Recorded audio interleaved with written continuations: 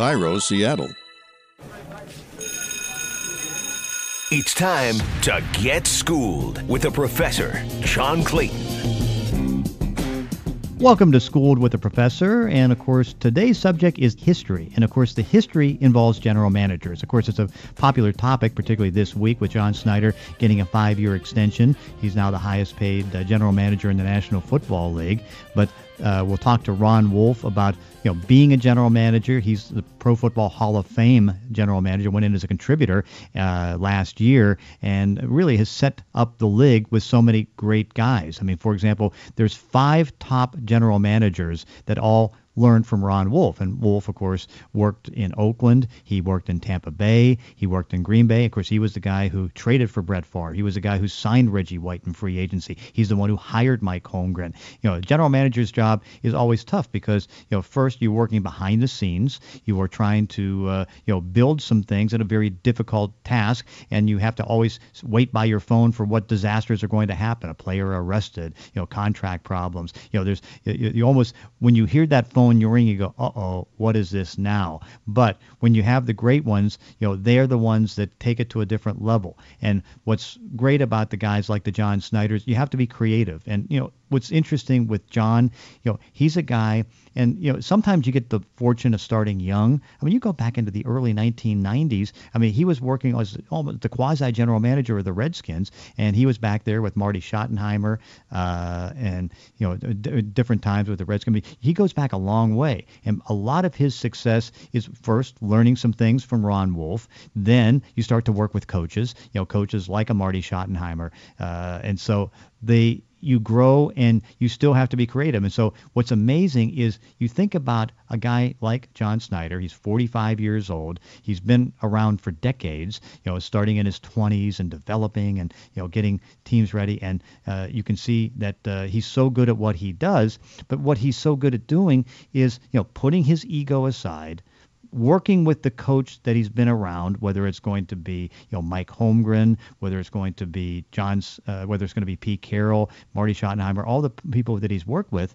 and then just try to get the players that he wants and then develop. And of course, you know you have different systems. You know, it's one where you have to make sure that you develop your own good team of scouts and then try to be creative on it. And you look at John Schneider, I mean, he is so creative. I mean, he's he knows what Pete Carroll wants. Long, angular cornerbacks. You know, he wants, you know, different type of offensive linemen for Tom Cable. He fits that and then goes gets that and then has to go through the process of, you know, working it out. And then after that success, if you get the right player, then the next challenge is get that guy to a second contract. And this is so much tougher than it was before 2011 because, you know, literally uh, second contracts for draft choices, you may only have 40 or 50 in a year. And think about those numbers. And this is league wide. You know, there's 32 teams, and so the average is maybe you can get one or two guys to second contracts. Well, John Schneider's been able to get you know as many as three and maybe as four,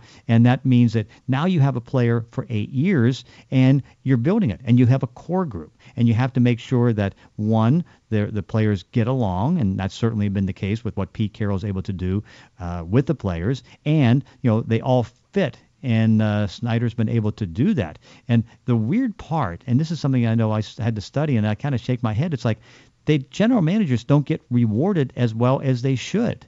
You look at the you know head coaches. I mean, Pete Carroll, my guess is made about 11 million dollars a year, and it's deserved. I mean, Bill Belichick's probably making 12 or 13 million dollars a year, and Pete Carroll's right up with him as one of the best coaches in the National Football League. So that took care of itself. But then you look at general managers. Well, it took you know, a long period of time for John Schneider just to top the $3.75 million a year that Ozzie Newsome was making with the Baltimore Ravens. And so that's less than a kicker, less than Justin Tucker, uh, who just signed, by the way, Ozzie Newsome signed him to a four-year, $16.8 million contract. Yet, you know, you're running one a budget because you know team budget is going to be you know 150 160 million dollars. If you hit on a low price pay, player you're saving millions of dollars. And here you are you know kind of banging around to make as little money as a, a kicker is making. So different field. And you know what you're seeing in the National Football League now is that uh, a lot of young general managers are getting a chance, and uh, you know if they don't work with their coach, things go well. Go go to Cleveland Browns. They had a bright coach, Ray Farmer. I mean, bright coach in Mike Pettine and a very bright general manager in Ray Farmer. I mean, Ray Farmer went to Duke. I mean, he was working in the Kansas City Chiefs. Very intelligent, one of the most intelligent guys in the league. And, uh, you know, he goes in there, and naturally, you're an employee, even though you're running the football operations, but you have to try to appease people. So what's the first thing he does? You know, he wants to appease the coach because he wants a cornerback who can shut down. And they thought they were going to get that in Justin Gilbert. All right, so they make that move in the first round. Then they know the owner, Jim Haslam, wants a quarterback, and he wants Johnny Manziel. So he maneuvers, makes a trade, and he gets Johnny Manziel. Well, Gilbert was terrible. I mean, you know, it didn't seem to work as hard. He didn't seem. I mean, he never has really materialized as a starting cornerback. And you know the problems with Johnny Manziel. And what ends up happening after a couple years, you lose your job. Then all of a sudden, the relationship with the coach starts to fall off. You know, in the good situations, like you see in Seattle, the coach and the GM need to get along. That doesn't happen everywhere because you know egos are involved. In this situation in Seattle, egos aren't involved. Pete Carroll is easygoing. He's uh, one that is accommodating with everybody, and John Schneider shows no ego. It's like it's like the line that he uses: is, "Ego is your enemy," and so you want to stay away from that ego. And they work so well together. And what's nice now with the deals that are there, they're going to be together at least three more years. And if they can have the success that they hope, they're going to be pinned as one of the best pairs in NFL history. I mean, very much like Ron Wolf and Mike Holmgren. You know, that worked so well for so many years, and, and the great success they had with Brett Favre and Reggie White and the Green Bay Packers. You know, uh, I've still seen situations where I know calling a coach that didn't like the GM or calling the GM that didn't like the coach, you know, they would talk behind each other's back so bad. And of course, you're kind of caught in the middle. Obviously, that doesn't happen here. And it usually doesn't happen in the places that sustain success because, again, you want to try to get along with everybody. And that's what's so good about the situation in Seattle. And now what you see is that, uh, you know, here's a system where the general manager and the coach have been to the playoffs five of six years. They've got a team right now that, at least according to ESPN.com, is rated as the best team in the league for the next three years. And they've got every starter that is signed, they still need to do something with Steven Hauschka, the uh, kicker, you know, and they can they have time to do that either during the season or maybe even after the season. They've got 8.4 million dollars of cap room that's still available, so uh, it's all set up for a little bit of a longer run, and we'll see how that goes. And then after the three years, Pete Carroll has to decide, hey, I still want to coach or not want to coach. I mean, there's no pressure on him to do it either way, but he can have fun for the next three years, seeing what he can get out of this team. And if he does leave, then it's going to be John Schneider's job job to try to, you know, take that next step and start to replace some of the top players from this run. So general managers are the topic. And coming up, we talk to one of the best, Ron Wolf, formerly of the Green Bay Packers, Oakland Raiders, and other places, just trying to get schooled here with the professor.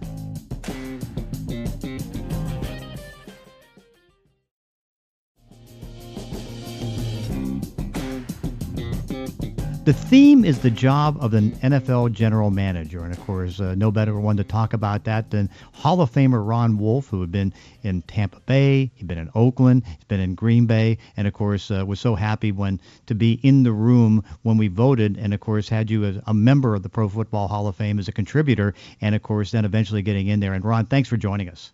Well, I appreciate it. Thank you, John you know, it's it's interesting because uh, you know you now have so many disciples. In fact, I was looking back at the playoffs, and you know you had at least four disciples of your system that uh, were in there. Of course, John Schneider here in the Seattle area. You know, John Dorsey having Kansas City. You know, Scott McCloughan over with the Washington Redskins. You know, Ted Thompson, of course, uh, in Green Bay what as a general manager did you do to teach a lot of these guys, you know, the system and how to run a franchise?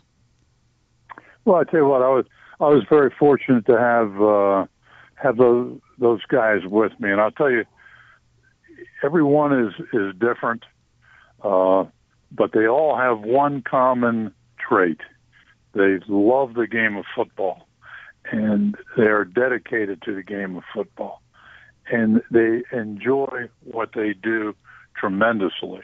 Uh, and and that's the thing I think that that helps them so much. It's every day. It's it's not like going to work. It's it's like bettering yourself, and and they have such a such a good time. I think. Now I you know I've been away from these guys for 16 years, so uh, but but I really enjoy watching their success. Each one's different but but basically, they're all the same because of their enthusiasm, their professionalism, and their thoroughness. You know, and the fifth one is Reggie McKenzie, who everybody tells me the Raiders have uh, have done an outstanding job the last three years in drafting and rebuilding that team, and it'll be interesting to see what happens with them. Is there a, a, a system that you teach them so that they can take that energy, focus it, and then come out and find players? I think so. I think, John, I think the, the big thing is you can either do it or you can't do it. There's no middle of the road here. That's that's the great part of working in professional football and being being part of this great game is the fact that it's cut and dried. You either can evaluate or you can't evaluate, and there's no middle road there. So these guys have uh, have done a phenomenal job with it. Uh, obviously, because look at you know look at the job Ted Thompson has done in Green Bay and John uh, uh, John Schneider in Seattle. Uh, you know, uh, Scott is new in Washington, but in his uh, first or second, I think his second year, he's got them in the playoffs. And John Dorsey has turned around Kansas City. So I think it reflects greatly on on their capability and their ability. But but once you have that drive, once you have that desire to excel, and they're all bright guys as well. They love and respect the people that came before them. Tremendous re- regard for those guys that play the game and for the people who played the game before them and set the standards. So uh, it's nice to see that they're carrying that on. They got a thorough uh, course from me when uh, we would sit in there and prepare for the draft. We would look at some old time players just in case, just so they could know who, you know, who Charley Trippi might be or Doc Blanchard or Glenn Davis. So, I mean, they got that. You know, we look at the old Cleveland Browns teams, uh, Otto Graham and Marion Motley and that crowd. So that yeah. kind of helped. That kind of helped it, I think. What was the uniqueness of John Schneider? I think the uniqueness of John is that he's not afraid uh, to make a deal. He's not afraid to make change. He's not afraid. Uh, uh, and, and to me, that's an important characteristic in this business. You cannot be afraid. Uh, he he went out and he tried to get a quarterback, quarterback, quarterback. I think he tried three or four times to get a quarterback, and but he never stopped trying, and eventually he got the guy. So that, that to me, that's a great his great trait. Plus, again, now you he's smart, he's dedicated, he's a tremendous family man. Uh, I have high regard for what he's been able to do you know, kind of like in your own history. I mean, you were never afraid and were willing to take move, moves. And of course, I guess you know one of the biggest, if not the biggest move, was trading for Brett Favre and you know trading with your buddy Ken Herock uh, and taking him. Talk about the memories of that because I'm sure there's so many stories into that trade. Well, the big thing was that uh, I came uh, to Green Bay in uh, in late November of 1991, and so happened the first game that the Packers were playing was in Atlanta uh, when I got here. Was in Atlanta against against the Falcons, obviously, and I was sitting up in the press box, and Ken came up to me and told me, I'll never forget these words. If you want to see Brett Favre throw, you got to look at him now because once the team comes out, he won't be allowed to do that. So I immediately put down my hot dog and uh, started to go down down the field, but I never got there. But I knew right then and there that I had a chance to get the player that I thought was the best player in the 1991 draft, and worked on it, worked on it, worked on it, and finally it came to fruition. We were able to get him for a number one draft choice, and boy, did that ever work out! I re- I can recall when I, uh, people have asked me what I, why I made the trade, I made the trade because I thought he'd become a Hall of Fame quarterback. But you know what, John? He was better than that. Oh, no question. Am, am I right in remembering that uh, when he got there, he had a little bit of a hip injury that uh, you know caused the doctor some concerns, and of course, I mean that wasn't going to change the equation. He was going to be on the Packers. No question, no question about it. Yeah, uh, uh, we had a, a really interesting uh, uh, medical setup uh, here when I first got here, and and after uh, after that thing with Brett, uh, I got that fixed. So uh, what what happened was it was a misdiagnosis, which always happens, and uh, the the orthopedic man was was in Green Bay. Was Dr. McKenzie, who is still the orthopedic man with the Packers. Didn't examine him; somebody else did, and then he told me the story, and so then what had happened was this one guy failed him, and we went down and we changed that. And you know what? He never missed a game. So that's the amazing thing, and of course it's going to be physically. Yeah, and it's going to be so special for you because I mean, you get to go to Canton where you know you wore the yellow jacket. You get to see Brett Favre. You get to see uh, the the long-awaited uh, inductee induction of Ken Stabler, who you you know from the Raiders. I mean, this is going to be a, a great trip for you. No question about that. I'll never forget going through the uh, the draft with Ken Stabler when I was with the Raiders because this was a time when when all the experts came out and said a left-handed quarterback could never play in the National Football League. Don't don't waste a pick. And uh, though we had on our staff, uh, interestingly, John, we had four, uh, five coaches at the time. John Madden had been added uh, as a linebacker coach, but John Rauch was the offensive backfield coach, a legend in SEC football, had a lot of contacts down there. And he was the one that kind of convinced Al, I think, that, that we should go ahead and do this. I mean, I was beating on the table. It was he was my guy all the way, and uh, Kenny Stabler. And uh, I think that once John said that we do everything, the problem is that none of us are left-handed and we don't know how to coach a left-handed quarterback. And I think just that thing right there turned that around. But the person that turned Kenny Stabler around was John Madden when he became head football coach. And what what did John do to turn him around? Well, he just took advantage of his tremendous uh, his tremendous ability. He let let him be Ken Stabler, and I mean, never practices John that the ball never touched the ground. That's how accurate he was. And it's unfortunate that by the time he got got to uh, the Raiders, uh, he he had no longer had his running ability that he had in college due to a knee injury in college. But what a, what a great career he had. How about that five consecutive uh, seasons he took his team to the championship game? remarkable. That's only been measured in, in this new football now by one other guy. I think Brady did that mm-hmm. five consecutive years, taking his uh, team to the championship game. That's a rare feat.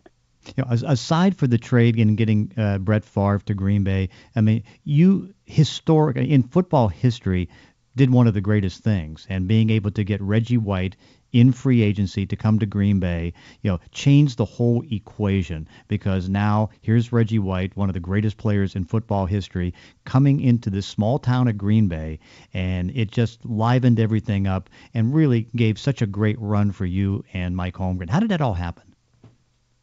Well, it happened because uh, uh, it's interesting you asked that question. We uh, the Packers just had their Hall of Fame banquet this past weekend, and Jimmy Sexton, who was Reggie White's agent, happened to be there, and he was telling me that he he vividly recalls me telling Reggie that he was already a great football player, but he comes to Green Bay, he'll become a legend, and that happened. And I think what happened was tremendous job by Ray Rhodes to recruit uh, Reggie White. Uh, Mike Reinfeldt was working through Sexton to get the the money right, and more importantly, when Reggie came here, he was treated just like a normal human being. He got picked up in a uh, an SUV, not a you know not a limousine. He went to eat at Red Red Lobster, and they promised him that if he comes, they would fillet the fish for the catfish for him. And those those types of things, people laugh at those things, but you know that's Green Bay, and that's that's what it's all about. This is a walking history book here. Every time you come around in the city of Green Bay, you bump into the history of the National Football League, and uh, whatever it was, it worked out, and he came, and we had a lot of success. I'll say this: in 19, 1991, when I took the job, a lot of people told me that I was crazy to come up to Green Bay because you could never succeed there. Well, once we signed Reggie White and the advent of free agency, as, as you acknowledged, in 1993, from that point on till I, I left, we had the best record in the National Football League, which was not supposed to happen, uh, according to all the uh, the quote experts. Uh, and uh, Favre played a, obviously Mike Holmgren, Brett Favre. We had uh, Reggie White. We had a pretty solid football team, and did some really good things up here. And it may change the image from the worst record in football when I got here to the best record in football when I left. But even more important, I mean, it created the legacy of the Packers and the Packer fans. You know, here's this, uh, you know, I guess you can't call it just a small town because basically it's a small state, but the state is so in love with this franchise, and you know, you set everything back on the right course that's now continued. I mean, uh, the success after you left and all these different things, what Ted Thompson's doing, and of course, it means so much because it's such great history that you know you can be small in area but big in stature. No question about that. It's a it's a great story. It's a it's a wonderful place to work. It's a, a great place to play. It's a tr- tremendous atmosphere here, and we when I came in here, we tr- we tried to take advantage of that. You know, play up to the the great players under Lombardi and and the guys under Lambeau and people like that. So you can do that here because because of the the tradition and the history. It's a it's a wonderful place, and we the fact that you know Ted and and Mike McCarthy have kept this thing going here is uh, a great tribute to what they've done, and and really and truly to, to Green Bay Packers fans and Packers football. I was reading the other day because it's one thing you have to do. I live here in the summertime in Green Bay, run to the light, run to daylight, the Lombardi book, mm-hmm. and they won't let you in here unless you uh, unless you read that when you come back into town. But they talk about in there that in, in school the kids are taught the Star Spangled Banner and the Packers fight song, and I, I never know, knew there was one, but that's interesting. well, I wouldn't doubt that. And of course, I mean, you helped set that up, and also setting up the fact that uh, a lot of the people that you taught are doing similar things in their cities. Whether it's uh, John Schneider in Seattle, whether it's John Dorsey in Kansas City, what's going on in Washington, and now the resurgence of the Raiders. Hey, Ron, thank you so much, and uh, tell you what. I mean, it was so much of an honor to be involved in uh, you getting into the Pro Football Hall of Fame, but you got into the Pro Football Hall of Fame because you deserve it. Well, I appreciate that. And I appreciate all the help, all the people like this, the guys you just mentioned. People like this are the reason I got in the Hall of Fame. And uh, what a wonderful honor that is. And thank you so much.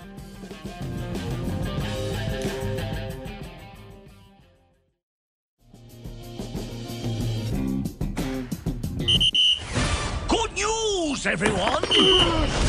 It's time to ask the professor. I'm the professor. Each week on Schooled with the Professor, we take the chance to take your question. And of course, uh, Clayton Schooled is our hashtag. And of course, we get this from Strict Nine. And Strict Nine's question is of Ted Thompson, John Schneider, John Dorsey, uh, Scott McCloughan, Reggie McKenzie, who's out in Oakland, who sticks to Wolf's principles most and who sticks to them least? Well, honestly, when you really look at the equation, I think the two that stick to it the most would be John Schneider and uh, Scott McCloughan. And the reason that I, I use that and you were able to hear what Ron Wolf says, sometimes you just got to be fearless. I mean, you got to take some chances. You've got to be bold. And you can see John Schneider's being bold. I mean, he made the trade for Percy Harvin. It didn't work out. And of course, as time went on, he was able to, you know, maneuver, make get rid of Percy Harvin in a trade, yet free up money to re-sign and extend contracts of two core group players. And you look at Scott McCloughan, you know, he had done such an unbelievable job when he was in San Francisco being bold, coming back and making, you know, decisions on NaVorro Bowman and taking the the guys like a uh, Patrick Willis and, you know, getting big players. I mean, you, you have to be defined if you're going to be a bold mover. And for example, the one big philosophy, big philosophy that McCloughan has, big. He wants big defensive players. He wants big offensive linemen. You know, he stresses that. In fact, I think in back of his office, he has a big chart that has all these big offensive linemen, pictures of big players, and so he has that. And you know, John Schneider, you know, he's willing to make the bold move with uh, the trade, say for Jimmy Graham. You know, try to push to get a Russell Wilson. You know, all these guys are good. You know, clearly, I know that uh, because Ron was involved in getting Reggie McKenzie the job with the Oakland Raiders, you figure that Reggie does, you know, eh, follow those same disciplines. I mean, they all follow the same disciplines because they are ones that they learn from the best and they're trying to be the best. In the case of Reggie McKenzie, he takes over a Raider team that just didn't have much talent. Not many guys had worked out. And of course, that first year, he didn't even have a draft choice until the third round. So he goes into this and, you know, he takes a couple shots on some guys. Then he starts seeing, okay, wait a second Second round, here's a Derek Carr. Bold move in the first round. Khalil Mack, I mean, you didn't know the way he played at the University of Buffalo. Was he a linebacker? Was he a defensive end? But he was a great athlete who could play, and he thought, Reggie, that you would take him with the idea that maybe he can be like an Aldon Smith or a Von Miller. Well, as it turns out, I mean, he's Khalil, Khalil Mack's one of the best defensive players in the league. Bold. I guess you could say the one that sticks to it the least, although he's so successful and all these guys are successful, would be Ted Thompson because Ted is a little bit more ca- cautious. Ted, I mean, again, great success. And remember, here's the guy who took Aaron Rodgers at a time that they had Brett Favre. Now that's bold, but of course the caution comes in that you know Ted Thompson disdains from really getting involved in free agency. He has the belief that uh, you go ahead, get all the players out of the draft, and you get homegrown talent and clearly it's worked. Look at all the success the Packers have had, and uh, you know only on rare, rare occasions will they dabble in free agency. Yeah, they were able to get a Julius Peppers, but for the most part, and I know Ted, you know takes a lot of criticism for not being more involved in free agency, but why? His formula, learned from Ron Wolf, works, but he probably doesn't use the same bold technique because, you know, if you're Ron Wolf, I mean, you see you see Brett Favre, you get Brett Favre.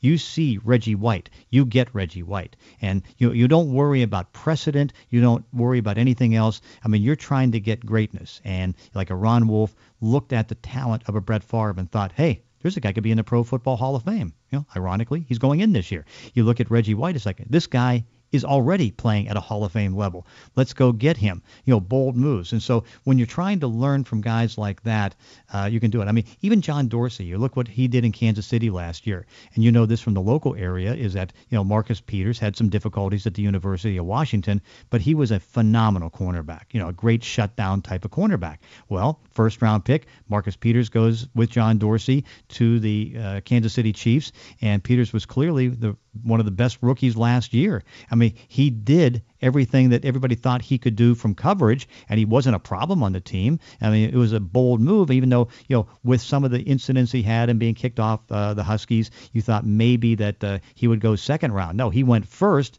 and probably should have gone higher. I mean, he was clearly one of the best rookies. So when you're talking about uh, you know following a disciple like Ron Wolf, I mean, you all five of these guys have followed the pattern. You know, the least maybe Ted Thompson, but let's put it this way: they're all in the playoffs, and the, the Raiders will be next next uh, going into the playoffs. Five disciples, five potential playoff teams. And of course, they learned from the best Ron Wolf. And that was our subject this week. It's the general manager.